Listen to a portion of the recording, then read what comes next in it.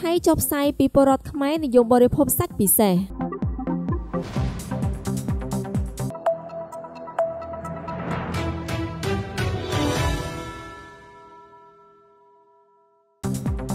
ទំព័រ Facebook ប្រទេសថៃឈ្មោះថាកោះខ្លាសៀបានចុះផ្សាយកាលពីថ្ងៃទី13ខែវិច្ឆិកាឆ្នាំ2023ដោយសារព័ត៌មាន AFP បានរាយការណ៍ថានៅក្នុងមួយឆ្នាំមួយឆ្នាំសត្វឆ្កែនៅក្នុងប្រទេសកម្ពុជាត្រូវបានគេចាប់មកធ្វើម្ហូបអស់ចំនួនជាង3លានក្បាលហើយអ្វីដែលគួរឲ្យសោកស្ដាយជាងនេះទៅទៀតគឺឆ្កែទាំងនេះត្រូវបានគេសម្លាប់យ៉ាងព្រៃផ្សៃបំផុតក្រោយមកពួកគេក៏យកសត្វឆ្កែទៅលក់ឲ្យហាងលក់ម្ហូបនៅទូទាំងប្រទេសកម្ពុជាហើយពលរដ្ឋខ្មែរដែលនិយមហៅម្ហូបដែលធ្វើពីសាច់ឆ្កែថាជាសាច់ពិសេស ទំព័រ Facebook កោះខ្លាសៀននិយាយថាគេមិនអាចបដិសេធបានទេថាការបរិភោគសាច់ឆ្កែគឺជាវប្បធម៌របស់ប្រទេសជាច្រើននៅតំបន់អាស៊ីដូចជាប្រទេសចិនប្រទេសកូរ៉េខាងត្បូងវៀតណាមនិងកម្ពុជាបើទោះបីជាបរិភោគនេះបានកាត់បន្ថយនៅបរិមាណយ៉ាងណាក្តីប៉ុន្តែសាច់ឆ្កែនៅតែទទួលបាននូវការពេញនិយមបរិភោគហើយក្នុងចំណោមនោះគឺប្រទេសកម្ពុជាផងដែរ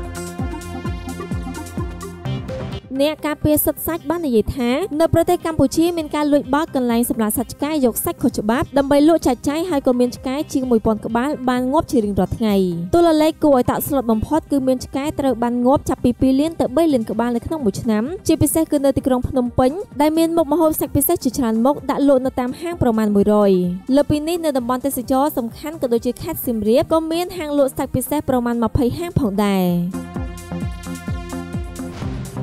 រីឯគ្រូពេទ្យសត្វបាននិយាយថាមានអារម្មណ៍ថាតក់ស្លុតយ៉ាងខ្លាំងចំពោះរឿងមួយនេះព័ត៌មានដែលបានទទួលមកបានចាត់ទុកថាទីផ្សារសាច់ពិសេសនៅកម្ពុជាមានភាពទូលំទូលាយខ្លាំងណាស់ដោយគេនឹងយកសាច់ពិសេសមកលក់នៅក្នុងតម្លៃខ្ពស់គឺប្រមាណពី2ដុល្លារទៅ3ដុល្លារចំពោះអ្នកស្រាវជ្រាវផ្នែកសុខភាពបាននិយាយថាការបរិភោគសាច់ឆ្កែដែលមិនបានឆ្លងកាត់ការត្រួតពិនិត្យត្រូវប្រឈមនឹងការឆ្លងជំងឺពីសត្វឆ្កែ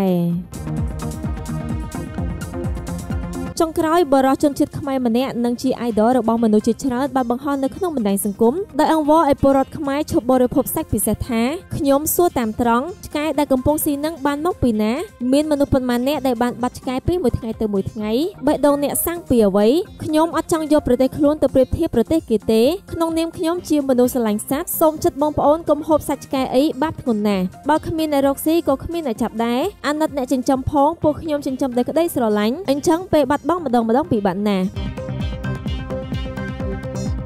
ក្រោយពីការបង្ហោះរឿងសាច់ឆ្កែរួចមកក៏មានអ្នកលេងបណ្ដាញសង្គមជាច្រើនអ្នកចូលមកបញ្ចេញមតិហើយទំព័រ Facebook ថៃឈ្មោះថាកោះខ្លាសែបានដកស្រង់នូវមតិមួយចំនួនយកមកចុះផ្សាយ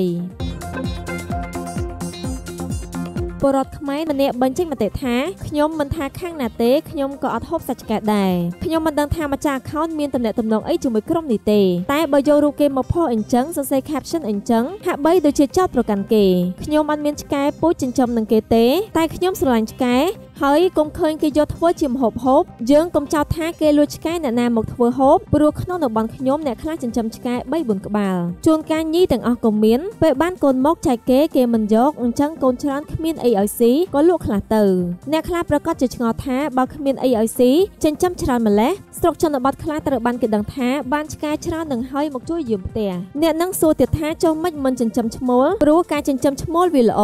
តែពេលវារកញីម្ដងម្ដងមិនចេះនៅផ្ទះហើយងាយស្រួលជាប់អន្ទាក់គេទៀតវាមានរឿងច្រើនរីឯអ្នកលក់សាច់ឆ្កែក៏មានអ្នកដែលគេត្រឹមត្រូវដែរអញ្ចឹងកុំឃើញថាការរកស៊ីប្រភេទនេះចោទថាគេលួចវាមិនទាំងអស់នោះទេ ពលរដ្ឋខ្មែរម្នាក់ទៀតនិយាយថានៅបរទេសមានច្បាប់ប្រសិនបើយើងវាយសត្វចិញ្ចឹមឬធ្វើបាបវាយើងនឹងអាចជាប់ពន្ធនាគារបើស៊ីទៀតមិនដឹងប៉ុន្មានឆ្នាំនោះទេខ្ញុំក៏ចង់ឲ្យមានច្បាប់នេះនៅស្រុកខ្មែរដែរព្រោះមានតែអ្នកស្រឡាញ់សត្វទេទើបយល់អារម្មណ៍មួយនេះពលរដ្ឋខ្មែរម្នាក់ទៀតថាគោលបំណងគឺចិញ្ចឹមវារហូតដល់ថ្ងៃវាផុតអាយុតែកម្មអកុសលមនុស្សគ្មានបេះដូងលួចយកទៅបាត់មិនដឹងថាយកទៅលក់ឬយកទៅស៊ីឬទៅចិញ្ចឹមខ្ញុំពិតជាឈឺចាប់ដល់សប្តាហ៍ថ្ងៃ ពលរដ្ឋខ្មែរម្នាក់ទៀតថាមនុស្សអើយមនុស្សគេហូបជាសិទ្ធិរបស់គេគេបានទៅចាប់សត្វរបស់អ្នកឯងនៅបើគេទៅប៉ះពាល់របស់អ្នកចាំអ្នកថាឲ្យគេតែនេះជារបស់គេយកខួរមកគិតផងចាំហាមកនិយាយហើយយកទៅធៀបទៅនឹងសាសគេខ្ញុំសួរថាតើការនិយាយសាសគេនិងសាសយើងដូចគ្នាដែរឬទេហើយសាសគេមកមហូបគេដូចជាងទេមនុស្សយើងយកខួរមកគិតសិនចាំហានិយាយ ពលរដ្ឋខ្មែរម្នាក់ទៀតថាការមុនស្ងាត់ណាស់គ្មានអ្នកណាហ៊ានបាក់លក់ឬស៊ីទេឥឡូវបើលក់ជាសាធារណៈហើយខ្លះហ៊ានថតវីដេអូចំអិនទៀតពលរដ្ឋខ្មែរម្នាក់ទៀតថាវាមិនបាបទេគ្រាន់តែហូបសាច់ឆ្កែតែកុំហូបអីល្អជាងព្រោះភាគច្រើនគេលួចសត្វទាំងនោះទៅឲ្យអ្នកចំអិនសាច់ឆ្កែព្រោះអ្នកលក់សាច់ឆ្កែមិនមែនចិញ្ចឹមសត្វនេះដោយខ្លួនឯងនោះទេអញ្ចឹងសាច់ឆ្កែដែលលក់ទាំងប៉ុន្មានគឺបានមកពីការលួចគេគួរគិតដល់ម្ចាស់គេខំចិញ្ចឹមថែទាំផង ពលរដ្ឋខ្មែរម្នាក់ទៀតថាអ្នកហូបនៅតែហូបមានអ្វីត្រូវខុសច្បាប់ហើយមួយទៀតអ្នកបាត់ឆ្កែមកពីប្រហែសខ្លួនឯងទុកឆ្កែនៅក្រៅផ្ទះចុះបើឆ្កែរត់ចូលឡានគេវិញឬក៏ម៉ូតូគេវិញដួលហើយមួយទៀតបាបប៉ុនតែងតែមានចុះហូបត្រីនិងហូបសាច់គោរាល់ថ្ងៃមិនបាបទេឬតែបែរជាមកបាបសាច់ឆ្កែរីឯសាច់គោវិញគឺបំរើការងារជាច្រើនមិនមនុស្សនៅតែហូប ទំព័រ Facebook កោះក្រាសាយបញ្ជាក់ថានេះគ្រាន់តែជាការបញ្ចេញមតិរបស់អ្នកលេងបណ្ដាញសង្គមមួយចំនួនប៉ុណ្ណោះហើយអាចបញ្ចេញមតិមិនសមរម្យខាងទំព័រ Facebook ថៃក៏ខ្លាសែក៏បានសូមអភ័យទោសផងដែរ